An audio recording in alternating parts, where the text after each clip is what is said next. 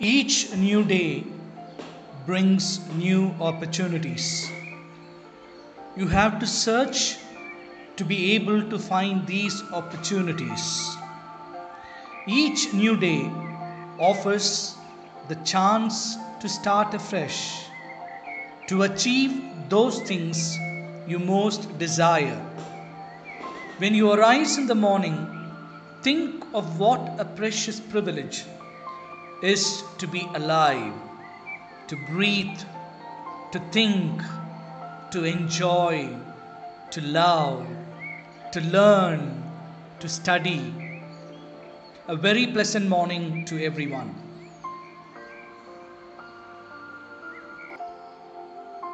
So, welcome to this new day. And we call this new day as Wednesday. We were taught as little children there are seven days in a week, and we have learned it by heart, and we say it by our rote memory that today is Wednesday. But have you ever asked a question who created the word Wednesday? Or where did the name Wednesday come from? The name Wednesday actually derives from two mighty but distinct gods. The Old English word for Wednesday indicates that the day was named from, for the Germanic god Odin. In Romance languages, the name is derived from the Roman god Mercury. For example, Wednesday is Mercredi in French and Miyakure in Romanian. Odin, also known as Woden, and Mercury have been associated since Scandinavian and Roman cultures cross paths. Under Odin's supervision, the earth and sky were created from the dead body of a giant called Ymir. Odin also created the first man and woman from an ash tree and an alder. As if fashioning the human race wasn't enough, Odin also established the laws of the universe. And therefore, Mercury was the messenger to the gods, along with being the patron, a patron of science, the arts, travelers, and athletes. And today, he is one of the most widely recognized gods. Usually, he is depicted wearing a winged helmet and sandals. Now, you will ask me a question how did Wednesday become a day? Starting around 1965, Wednesday began being referred as a hump day because this comes in the middle of the traditional work week. So, arriving at Wednesday symbolizes that we have made it over the hump, meaning, meaning to say, once a day is complete at least, and the weekend weekend is in sight. I hope this piece of information was useful to all of us. It's time to bow our heads, bend our heads low, and invite God into all that we do today. Please close your eyes and join me in the following prayer. This is a student's prayer composed by St. Thomas Aquinas. Creator of all things, true source of light and wisdom, origin of all being, graciously let a ray of your light penetrate the darkness of my understanding. Take from me the double darkness in which I have been born, an obscurity of sin and ignorance. Give me a keen understanding, a retentive memory, and the ability to grasp things correctly and fundamentally. Grant me the talent of being exact in my explanations and the ability to express myself with thoroughness and charm. Point out the beginning, direct the progress, and help in the completion. We make this prayer in the name of the Almighty God. Amen. And let's move on to feed our minds with a thought of the day or thought for the day. Teachers open the doors, but you must enter by yourself. This is a Chinese proverb. I repeat once again. Teachers open the doors, but you must enter by yourself. What is the meaning of doors? Door is a symbol of possibilities. When the door is open, either you can get in or you can decide not to get in. By making an entry into the door, you are having an access to the possibilities which are inside that particular area, which allows you to make a way through the door. So, therefore, door symbolizes a bundle of possibilities. And therefore, teachers open the doors means teachers show you are the ones who are instruments to open the bundle of possibilities in front of you. But the second line goes very clearly, but you must enter by yourself. People can only show you the door. The decision to enter is yours. Whether you want to enter or not to enter is your decision. And that decides your destiny in the future. The bundle of possibilities, the bundle of opportunities are in front of you, which are laid open by the great gurus in the form of our teachers in the school. Whether you would like to make use of those possibilities and enter and explore and to make your life, the future, a great a piece of success is up to you. So, teachers open the doors, but you must enter by yourself. It's time to test whether we have paid keen attention to yesterday's class. There are certain questions placed for you to test your understanding. First, we are all dashed before our mother. This is taken from the quotation of the late President of India, Pranab Mukherjee. The second question late Pranab Mukherjee was the dash President of India from dash to dash. Question number three International Tiger Day is observed on dash. Question number four What is the meaning of antiseptic? Question number five Tiger has dash like soft paws. Question number six Was the tiger capable of showing its power to the visitors and terrorize them? State reasons.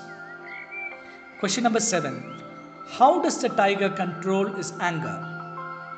Why is the tiger angry? Why is he angry? So take your time, quickly answer the questions, and we move on to the next part, the final part of the poem, the poetic analysis.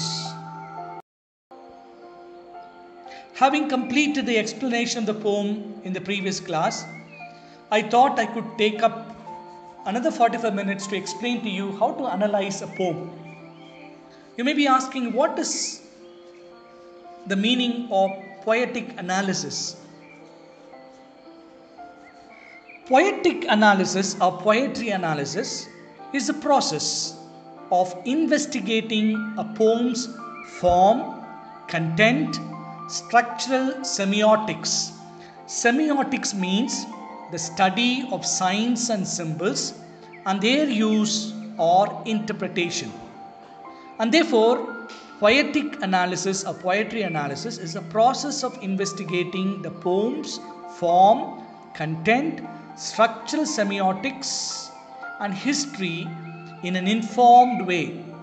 And the purpose of this poetical analysis is with the aim of heightening one's own and others' understanding and appreciation of the work. And therefore, we take up this poetical analysis of investigating the form, content, and structural semiotics and history of this particular poem with the purpose of making our understanding better, our understanding and others understanding better, and thus we begin to appreciate, find the novelty and the creativity in the works of the writer or the poet. And therefore, like poetry itself, poetry analysis can take many forms and it can be undertaken for many different reasons. A teacher might analyze a poem in order to gain a more conscious understanding of how the poem achieves its effects in order to communicate this to his or her students. A writer learning the craft of poetry might use the tools of poetry analysis to expand and strengthen his or her own mastery. A reader might use the tools and techniques of poetry analysis in order to discern all that the work has to offer and thereby, and thereby gain a fuller, more rewarding appreciation of the poem. And therefore, this is the meaning of poetical analysis or poetry analysis. There are various steps in this particular journey called poetical analysis or poetry analysis. The first step is read the poem twice and aloud. Second is to the literal meaning and the theme. Third is to look at the title. Fourth, to look at the tone of the poem. Number five is to look at the structure of the poem. Number six is to look at the sound and rhythm of the poem. And number seven is to observe the language and the imagery of the poem. And finally, to arrive at the conclusions of the study that we have made in this entire process of poetical analysis. Therefore, the first step in the poetical analysis is to read the poem twice and aloud. Why should we read the poem twice and aloud? Read the poem all the way through, at least twice, and read it aloud. Listen to it, because poetry is related to music, so the sound is important. We all listen to our favorite CDs, the music, many times. The principle is the same. It takes time to fully appreciate and understanding a work of art. So make a note of your first impressions or immediate responses, both positive and negative. You may change your mind about the poem later, but these first ideas are worth recording. This is the meaning of the first step read the poem twice and aloud.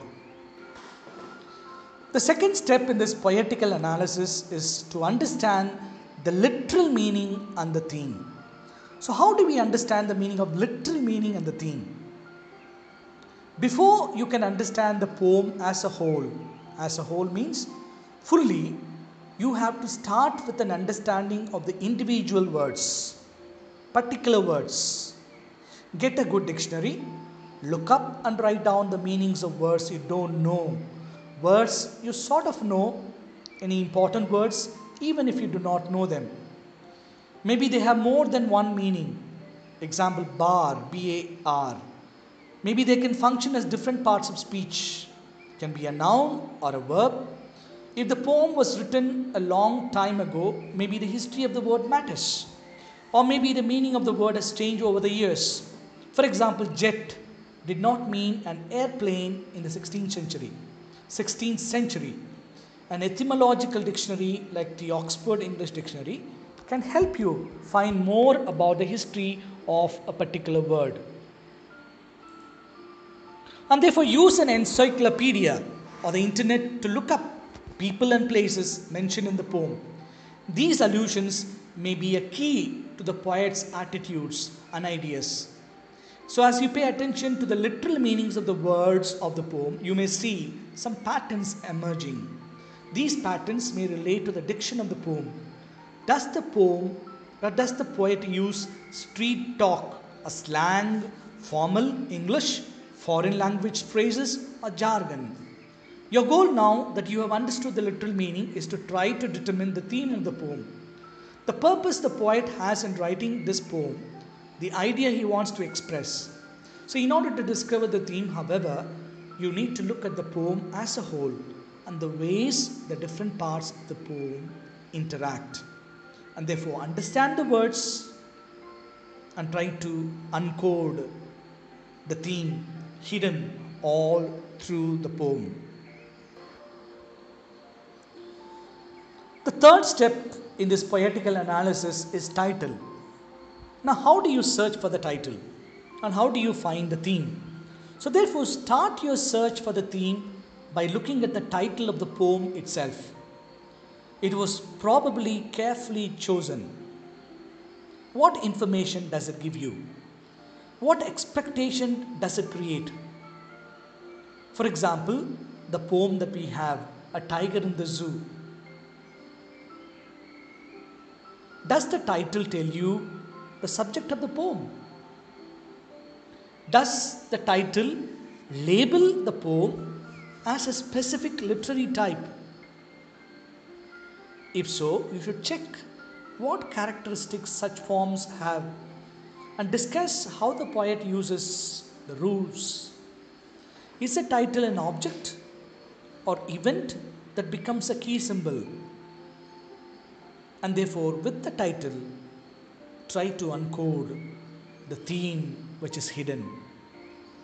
The title is carefully chosen and it is pregnant with a lot of meaning.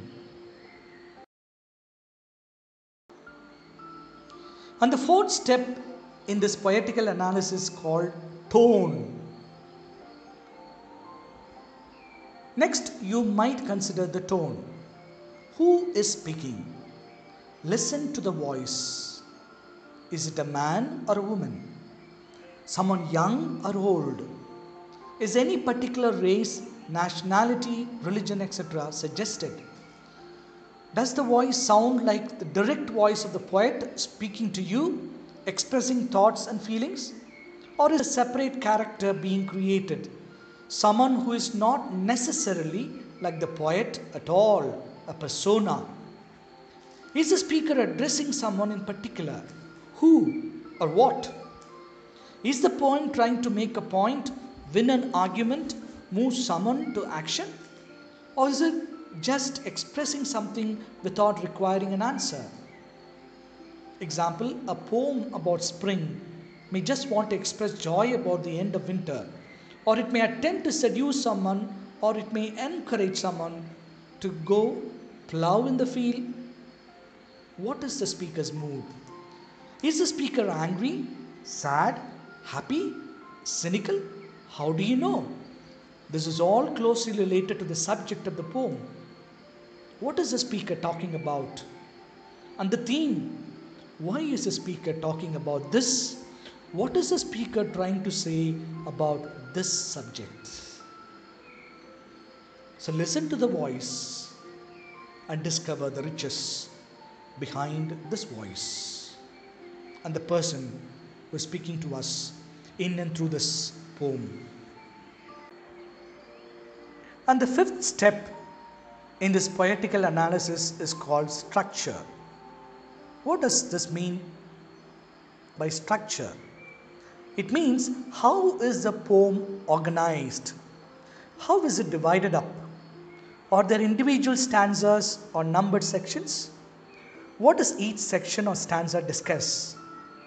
How are the sections or stanzas related to each other? Poems don't usually jump around randomly. The poet probably has gone, has some sort of organization in mind, like steps in an argument, movement in time, changes in location or viewpoint, or switches in mood. If there are no formal divisions, try breaking down the poem sentence by sentence or line by line the poet's thinking process may not be absolutely logical, but there is probably an emotional link between ideas. For example, you might ask a friend to pass mustard for a hot dog and suddenly be reminded of a summer romance and a special picnic. It doesn't look rational from the outside, but it makes emotional sense a very controlled structure may tell you a lot about the poet's attitude toward the subject. Is it a very formal topic? Is the poet trying to get a grip on something chaotic? A freer poetic form is also worth examining. What is appropriate or revealing about the lack of structure?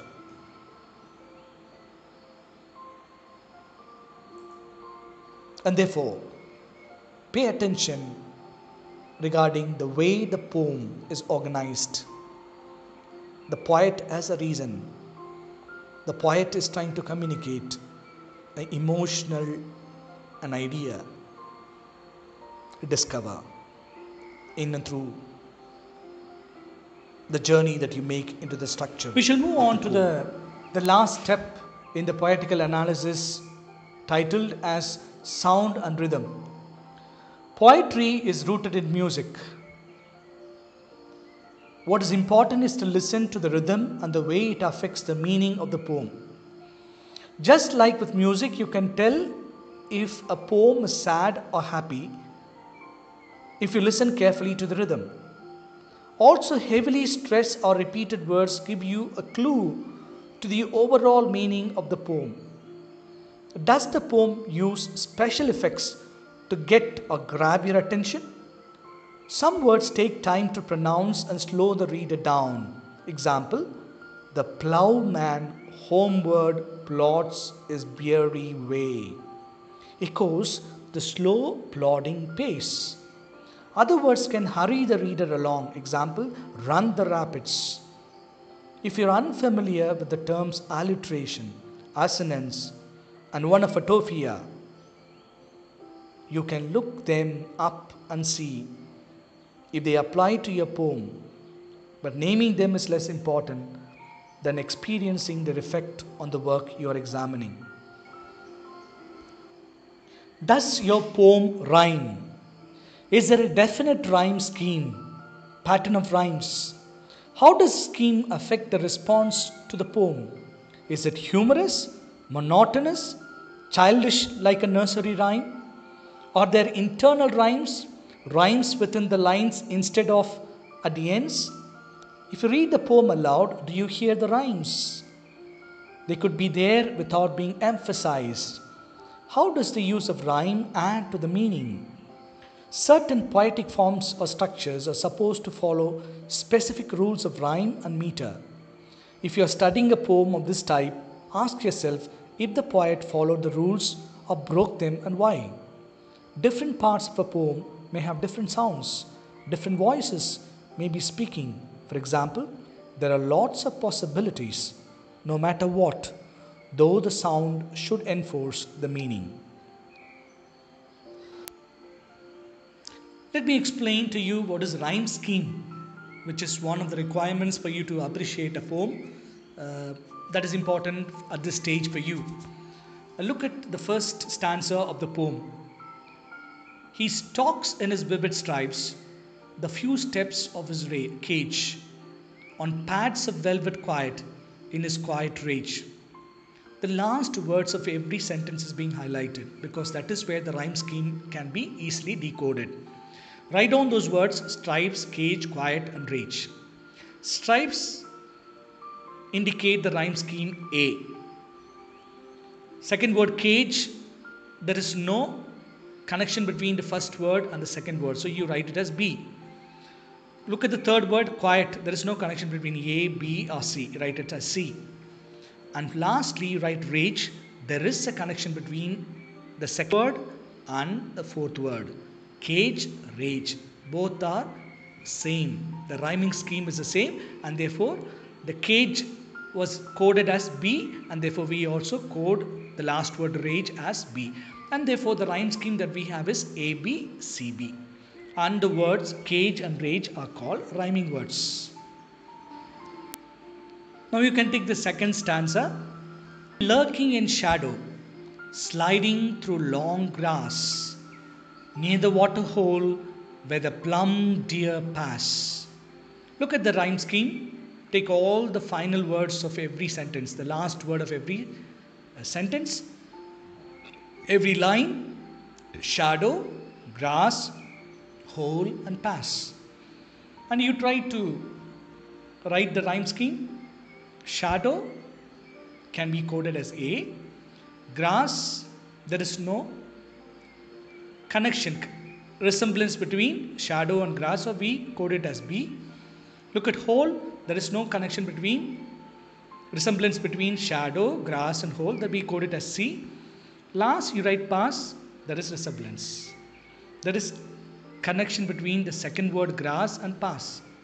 And therefore we use the same code B. And therefore we have the rhyme scheme as A B C B. And the rhyming words are grass, pass. And we have come to the end of the poetical analysis, and there are certain things that we need to keep in mind as a whole. What is the poet trying to say? How forcefully does he or she say it, or with what feeling? Which lines bring out the meaning of the poem? Does the poet gradually lead up to the meaning of the poem, or does he or she state it right at the beginning? The last lines of a poem are usually important as they are either emphasize as they either emphasize or change the meaning of the poem. Is this so in the poem that we are analyzing? A tiger in the zoo. Having seen the poetical analysis in a very detailed manner, now we shall move on to the second part of our presentation. To understand this particular poem, A Tiger in the Zoo, better, the figurative languages that are used in this particular poem. There are seven figurative languages that are used, and you need to understand not only for this poem but for any poem to decode the figurative language, you need to understand these particular terms. Simile, metaphor, personification, symbol, alliteration, paradox, irony. We need to understand first what is figurative language. Poetry is normally written in language which makes ample use of figures of speech and they serve a structural purpose in poetry and make possible a richness and complexity which could not be achieved through literal statement. So therefore to understand to understand poetry is imperative that one learns how to interpret figurative language. So figurative language make use of many figures of speech of which the most important are simile, metaphor, personification and symbol. So let's see now one by one the meaning of these figures of speech. Let's begin with the first figures of speech simile. Simile is a figure of speech in which two things essentially different but thought to be alike in one or more respects are compared. I repeat, a simile is a figure of speech in which two things essentially different but thought to be alike in one or more respects are compared. So, a simile is a statement of similarity introduced by like, as, or as if. For example, her hair falling down like a cascade. And therefore, similes which make imaginative comparisons for purposes of explanation or ornament are essential in all poetry and occur frequently in prose as well. Secondly, what is a metaphor? Metaphor is a figure of speech in which a word or phrase is applied to a person, idea, or object to which it is not literally applicable. A metaphor is an implied analogy which imaginatively identifies one thing with another. A metaphor is one of the tropes, a device by which an author turns or twists the meaning of a word. For example, Martin Luther wrote, A mighty fortress in our God, a bulwark never failing. Mighty fortress and bulwark are metaphors. A metaphor is an expression used in a new sense on the basis of similarity between its literal sense and the new thing or situation to which it is applied. He is the star of the university. That guy is a rat.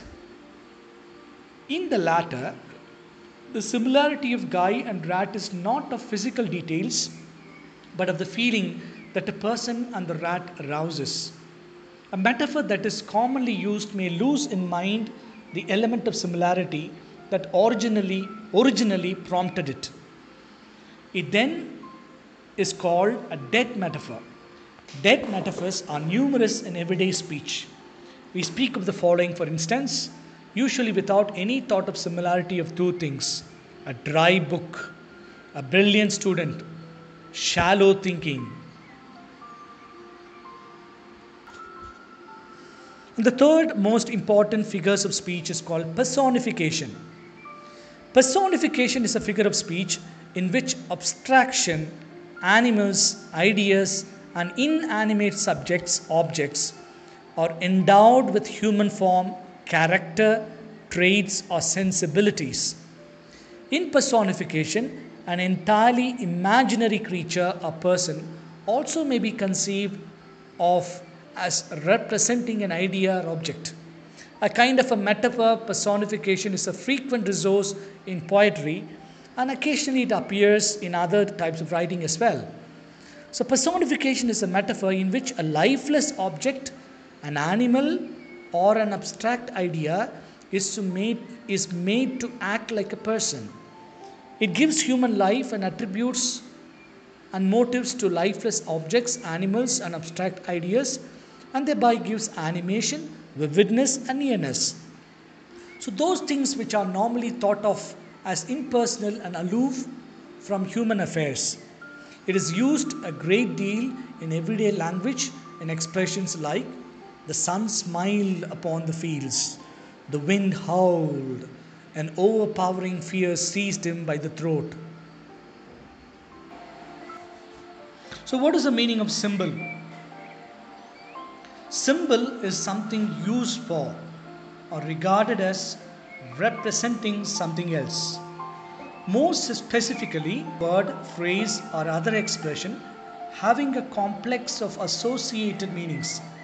In this sense, a symbol is viewed as having values different from those of whatever is being symbolized. A symbol is a person, place, thing, quality, or relationship that is used to stand for something other than itself. In poetry, we commonly meet two kinds conventional and nonce symbols. Conventional symbols are those which have been widely used and whose meanings are immediately understood. Thus, a flag is a piece of cloth which stands for a nation. The cross is a symbol of Christianity. Swastika, swastika was a symbol of Nazi Germany. So many poets used the rose as a symbol of youth or beauty. In contrast to conventional symbols, we also find nonce symbols in poetry. Nonce symbol is one that is invented and used for a particular occasion. Its interpretation is determined by the poetic context of which it is a part. The poet makes no outright statement about the symbolic values of his symbols, but trusts his context to render this meaning clear to the reader. What is the meaning of alliteration? Alliteration is a device commonly used in poetry and occasionally in a prose. The repetition of an initial sound in two or more words of a phrase, line of poetry, or sentence. I repeat, alliteration is a device commonly used in poetry and occasionally in prose. It means the repetition of an initial sound in two or more words of a phrase, line of poetry, or sentence.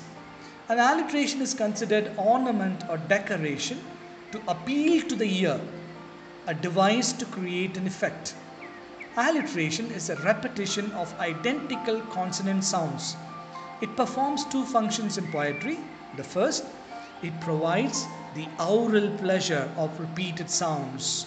Second, it helps to construct the poem. And what's the meaning of paradox? Paradox means contradictory, opposites. So it is a statement apparently self contradictory or absurd, but really containing a possible truth. A self contradictory false preposition an opinion or statement contrary to generally accepted ideas. Wordsworth's comment, the child is father of the man, is a paradox. Shakespeare employed a paradox when he wrote, Cowards die many times before their death. Dying many times before death? How can be a child be a father of the man? This is called a paradox. And the last figures of speech is called irony. A figure of speech in which the literal meaning of a word or statement is the opposite of that intended. In literature, irony is a technique of indicating an intention or attitude opposed to what is actually stated.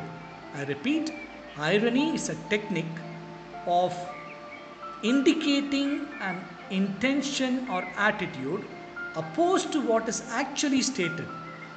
Aristotle defined irony as a dissembling toward the inner core of truth. So, irony is a saying of one thing and meaning another. Irony is a saying of one thing and meaning another. In the most diverse critical uses of the term irony, there remains the root sense of dissembling or of a difference between and what is actually the case. So, among the devices by which irony is achieved are hyperbole, litotes, sarcasm, satire, and understatement. So, the example of irony is calling a fat friend slim, whereas her weight is about 80 kg. How can you call a fat friend slim? Isn't it an irony? It's time to evaluate our understanding of today's presentation. The first question is Irony is a technique of indicating an intention or attitude dash to what is actually dash. Question number two A paradox can be defined as an opinion or statement contrary to generally accepted ideas. Is this statement true? Number three, alliteration means repetition of an dash, sound in dash or dash words of a phrase, line of poetry or sentence. Question number four, symbol is a poetical device that is used to represent something. Is this statement true? The last one, the sun smiled upon the fields, the wind howled an overpowering fear seized him by the throat. Identify and name these poetical devices. Make an attempt, and this will indicate your understanding, although the subject that we have dealt today a little hard, which needs an offline class, and we shall take up this later. But you try your best to assimilate and understand and test your understanding today. So, just to recap what we have seen, today we have seen what is poetical analysis.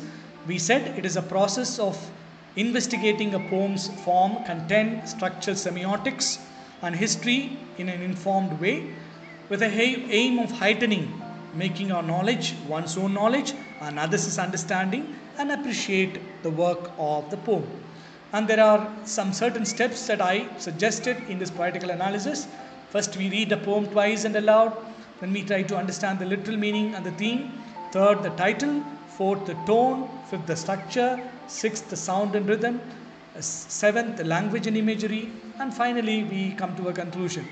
And we also saw regarding the figurative language, uh, for the six or seven figurative languages that needs a little understanding from our side, namely simile, metaphor, personification, symbol, alliteration, paradox, and irony. So, thank you once again for your patient listening. I hope you have understood, you got some idea about what is the meaning of poetical analysis and how we need to understand uh, the figurative languages which are used in the poem. Maybe offline classes, I will take up this topic once again to make it a little more clear. Uh, thank you for your keen listening and God bless you. Thank you, and it's time to say goodbye.